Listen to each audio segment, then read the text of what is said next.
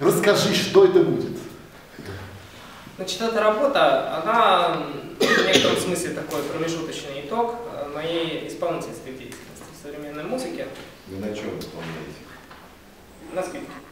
Худрук нашего ансамбля, Ленинградского председателя Ленинградского э, а, Когда я, собственно, начал заниматься проблемой вообще современного исполнительства и стал активно исполнять произведения, то, конечно, обнаружил, что на русском языке ничего не написано.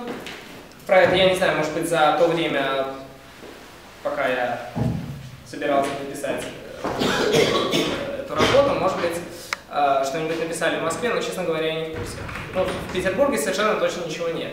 Э, и, конечно, есть знаменитый этот труд, изданный Калифорнийским университетом авторства Алина и Патрисии Стрэндж, который является таким перечислением подробным того, что где и что можно на скрипке сыграть, в каком месте, и, и вот у кого это как значит, представлено.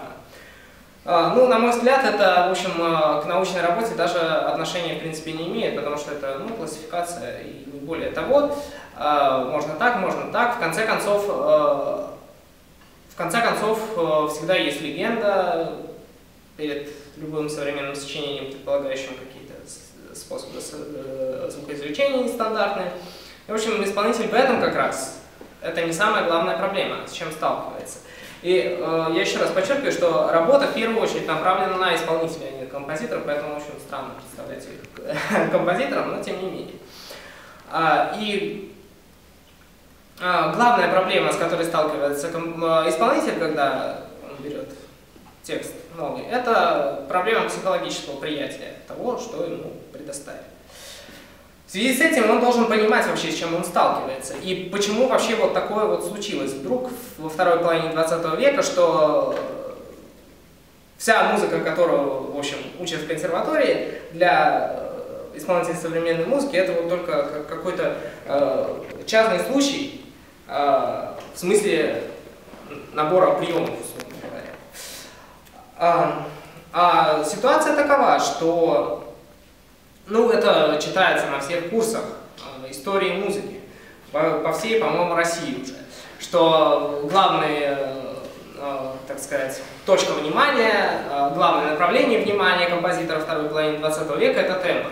Но что значит вот, направление тембра? Это значит, что все так сказать, основные, остальные средства музыки, они ему подчинены. Это значит, что их нет.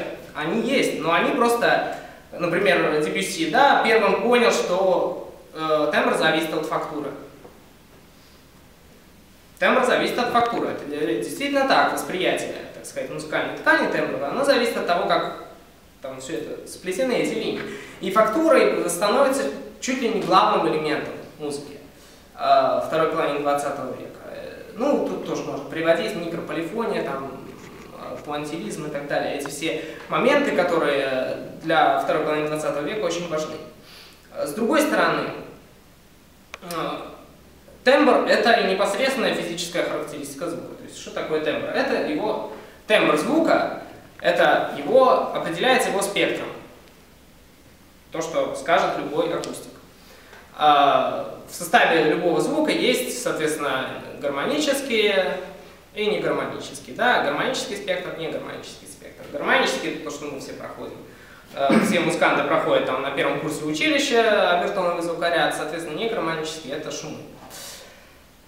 Вот. И отсюда следует э, следующий вывод, который имеет самое непосредственное отношение к исполнительству. Э, вот то, что внутри этого звука, любого акустического, присутствует шум, это значит, что все эти вот разграничения музыкальных и немузыкальных звуков, они в принципе изначально были достаточно искусственными.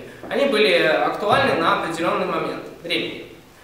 А, отсюда, в общем, сначала волонтаристы, конечно, снесли все эти, эм, как сказать, вот эти ограничения. Кейдж э, с Берио, у Берио есть знаменитое изречение, музыка есть все, что слушается с намерением слышать музыку. Вот. Ну а Джон Кейдж, как известно, вообще даже не даже вот это, этот ограничитель, который обозначает период, для него вообще не актуален, то есть все, что звучит, все, что молчит, это все музыка. А, но то, что вот э, обратились к спектру звука, это дало такую что ли, научную подстилку всему этому, научное обоснование. А, и вот в этих ситуациях существует современный исполнитель, современный композитор. Отсюда появляется вот эти вот, так сказать, ну, новое, то, то, что, то, на что большинство исполнителей русских сейчас смотрят э, выпущен, исключительно выпущенными глазами и не понимают, почему их в консерватории учили играть э, ровным красивым звуком, а э, вдруг композитор просит там э, этот звук э, вообще чуть ли не, не касаться струны, э, либо пережатым звуком играть. Почему? Вот, э, вот это вот, э, вот ответ на это почему. Э, значит, в самой работе э, несколько глав, посвященных, э, соответственно, различным аспектам современного исполнительства, э, непосредственно техники смычка, техники левой руки, ансамблевому, так сказать, исполнительству, со, значит, соотношению и взаимодействию скрипки и электроники, и не только скрипки, в общем, и ансамбли тоже. И, соответственно, посвященная глава коммуникации. А, ну, что касается вот э, техники смычка, техники левой руки, тут я, конечно, поскольку сама работа маленькая, то, соответственно, я не занимаюсь вот этим перечислением, что вот всех этих я останавливался на, на каких-то моментах, которые мне казались, вот, что они к данному моменту сформировались в некую такую устойчивую уже систему. Ну, скажем, э, непосредственно с вышесказанным соотносится э, целая система положений смычка, да, техника положения смычка, э, сульпантичелло, сультаста, ординарио, которые мы все знаем. Вот надо все-таки достать инструменты продемонстрировать.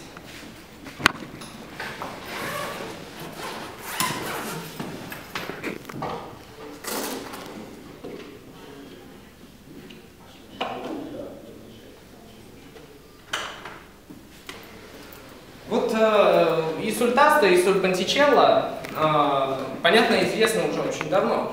Э, ну, записал Соль Пантичелло первой сольной литературе Паганини, а в оркестровой классический пример, да, это финал э, фантастической Берлиозы.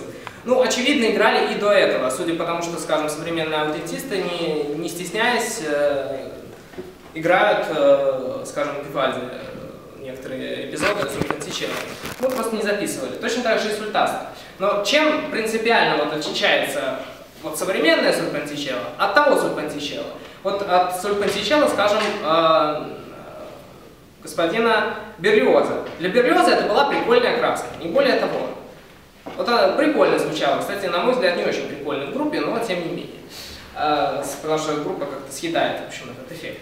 А что для э, современного композитора, который акцентирован на тембре звука? значит вот эти вот перемещения смычка техника, положение смычка. Вот когда мы играем одну и ту же ноту, для примера я продемонстрирую, скажем, вот мы играем соль пантичелло, и мы играем ее где-нибудь вот сильно на грифе.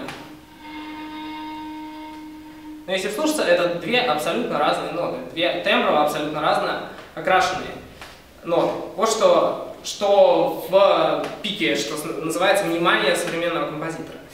А, и исполнителю это надо понимать, иначе он будет, э, он будет вот плавать, что называется. Он не поймет смысл того, что в нотах написано. Ведь главное это не прочитать там сульпантичело, стрелочка ординарио, стрелочка сультаста, скажем, а понять, какой вкладывает э, композитор смысл в эту, как бы сказать, какая логика в этом. Вот, поэтому, когда э, техника перемещения смычка, мы двигаемся от э, сульпантичело, постепенно меняя тембр сультаста, то мы наглядно меняем тембр ноты относительно той звуковысотности, на которой мы находимся. И исполнителю это необходимо понимать. А, то же самое относится к технике давления смычка, которая тоже, стала, тоже непосредственно э, вытекает вот все эти пережатия и так далее из вот этой вот идеи э, процессуальности тембра. То есть вот если, опять-таки, одна и та же нота, извлеченная ровным классическим звуком, э, с пережатием, либо на, вообще каким-то невесомым смычком, да, ну, условно говоря. Опять-таки это три разные ноты, в некотором смысле это три разных звука абсолютно. А, и идея вот перетекания из одного состояния одного и того же звука в другое для композиторов архи важна для современных. И опять-таки, исполнителю, вот это тоже надо понимать, что если композитор пишет что-нибудь вот такое, то он имеет в виду именно вот это вот, что э, уши исполнителя, уши исполнителя в первую очередь, они должны сконцентрироваться на тембровом вот этом вот изменении, а не, так сказать, проблем, проблематике того, что вот как же в консерватории меня научили, что надо играть красивым звуком. Ну, кстати, вот по поводу красоты звука, э, мне очень понравилось, э, ну, москвичи, наверное, прекрасно знают Эдиту Фил, да, флейтистку. Э, замечательная флейтистка, которая много уделяет внимания исполнению современной музыки. И вот она давала какой-то мастер-класс в одном из городов Сибири, честно говоря, не помню, может быть, в Перми.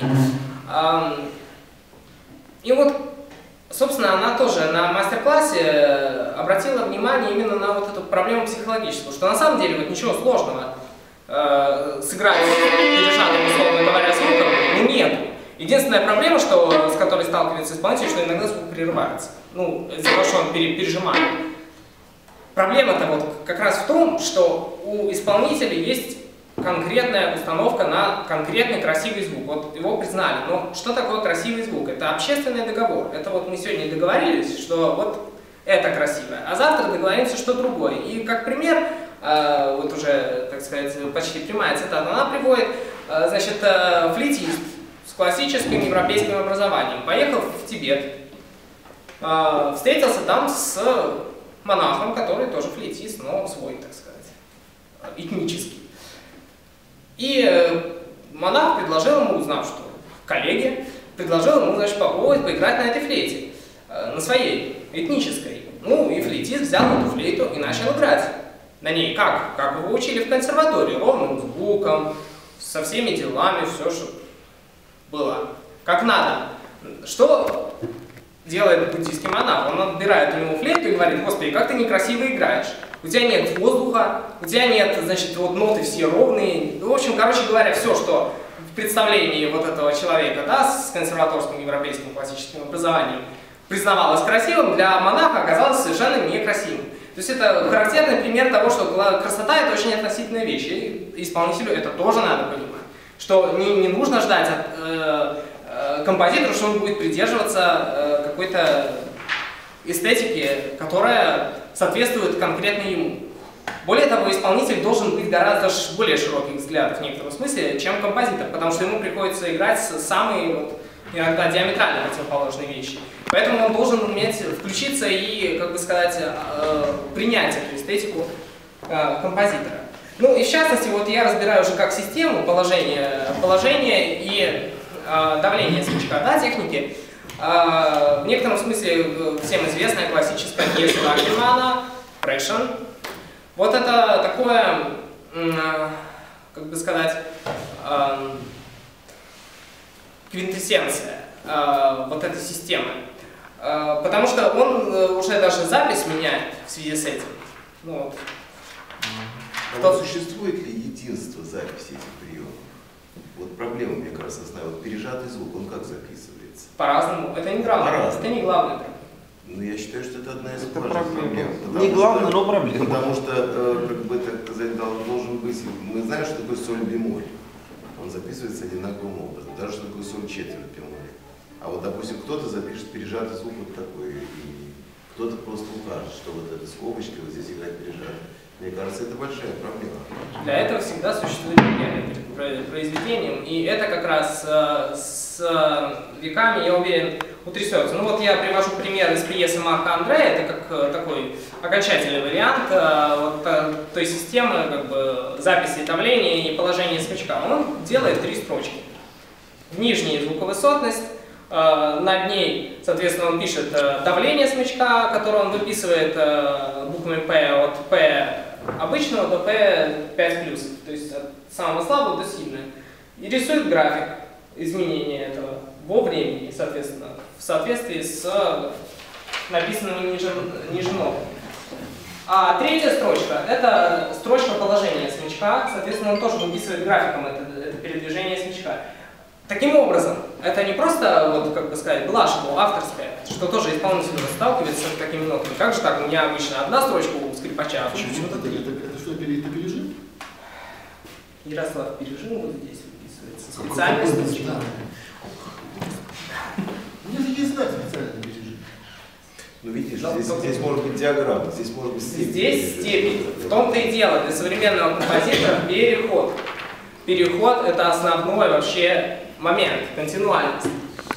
Появляется единица измерения пережима, да? Можно так сказать? Более того, это отдельный параметр. Э, Почему вот эта строчка опять, отдельно появляется? проблема, как он Потому что для Марка Андре звукоизвысотность ничуть не менее важна, чем пережим смычка и чем э, э, давление смычка. Давление смычка и положение его. Это для него равнозначимые параметры. Что давление, что положение, что звуковысотность. Ведь что мы видим в музыке, скажем, 20-го, первой половины, 19 века? Это, втори, это все вторичные моменты. Суль пантичелло, там, к, вибрато, нон вибрато и все прочие дела. Нет. В условиях современной музыки это а, абсолютно равнозначные, если и не превосходящие в некоторых случаях по важности. а, вот. Что касается техники левой руки, тоже отдельная глава посвящена, и опять-таки тут мой личный выбор, а, мои личные предпочтения, потому что то, что опять-таки сформировала система, это микротоновость. То, что необходимо устроить, усвоить каждому исполнителю, это микротонность. И опять-таки, в чем проблема, а, так сказать, освоения микротонности? Ну, кто-то скажет, что слуховая. Да, в некоторых случаях слуховая присутствует, но если вот про- просто так задаться задачей услышать четверть тон, ну что, тут проблема, вот у нас есть полутон, как в музыкальной школе учат, да, до первый, второй пальчик рядом. Чуть повыше первый поставил, вот тебе уже полутон, уже четверть тон. В общем, проблемы нет. Проблемы нет, услышать. Опять-таки, проблема психологическая, пр- проблема понимания вот, э, в современном контексте, что значит этот э, четверть тон. Так вот, э, в современных условиях э, четверть тон и вообще любая микротоновость, э, ну вот с чего все начиналось, если мы вспомним. Ну, это история давняя, э, были там варианты темперации в 16 веке еще, да, мы как не решили все-таки 12, 12 тоновость. Верхмейстер, да?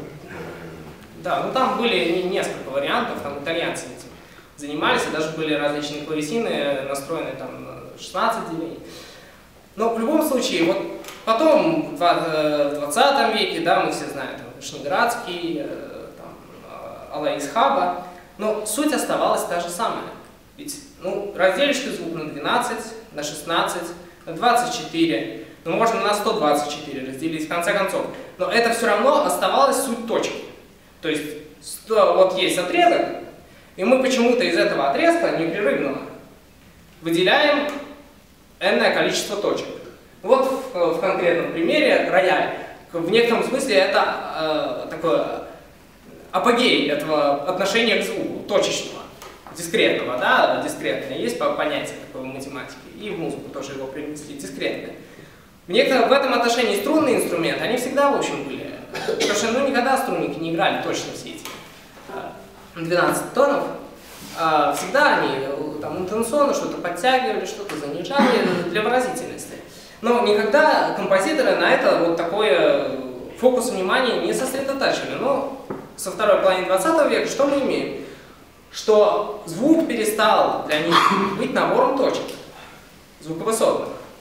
И в смысле тембра, и в смысле самой звуковысотности. То есть э, вот эти точки, они оказались в некотором смысле гораздо менее значимыми, чем переход между этими точками. То есть соединение, то есть глиссанда. То есть глиссанда от точки до точки. И тут микротоновость приобрела свое просто колоссальное значение, и ну, тут э, в работе приводится пример, конечно, классический из э, Микки Ксенакиса. А, там проблемы технических достаточно для исполнителя в связи с тем, что нужно там на двух струнах делать разнонаправленные глиссанды. Это, в общем, не, не самое простое, а кода там э, вообще требует, э, требует э, достаточно такой хорошей э, школы в смысле попадания, опять-таки, в нужные четверть тона, в общем, мы при слышании. То есть там слуховая хорошая работа. Но самое главное, что исполнителю стоит понимать, вот, беря э, этот текст, что тут э, совершенно иное отношение к звуку высотности, нежели все, с чем он сталкивался до этого, если он не сталкивался, так сказать, ни с чем похожим до этого. Ну, надо сказать, что это дискретное отношение к звуку, это вообще такое наследие европейское. А, Потому что никогда никакой, опять-таки, в восточных практиках, э, та же индийская рага, если обратиться к системе вообще индийских ладов, э, то вот эти все шрути и так далее, это э, парадоксально для европейцев звучит это направление. То есть вот эти вот ступени это направление. Это не точная звуковысотность, она не фиксирована там, как у нас там даже есть вот эти, да, шкалы там, для 440 или там 4- 443 герца, там, ну и так далее. Вот, Очень м? Ну, извините, не буду перебивать. А, а то. Ну, кстати, интересно, потому что я не, не так много э, литературы по этому поводу прочел, поэтому мне интересно слышать будет. Вот, и, соответственно, техника микротоновая, она усложняется, и далее, ну, вот, например, есть такие ноты действующего ректора. Парижской консерватории. О, Вот Роман закрался. А, И, скажем, у него, для него не, не представляет в его представлении совершенно нет проблемы для исполнителя сыграть какие-нибудь ро, россыпь э, четвертитоновых пассажей. Вот вторая, а, последняя строчка, ну, соответственно. Вот. А, Опять-таки, для исполнения этих четвертитоновых пассажей э, требуется не только а, так сказать, подготовка хорошая. Ну, там есть просто... Да, там есть очень замечательное просто место. только это известно, да, известная система. Нет, я не видел, я просто имею, я сейчас говорю про технические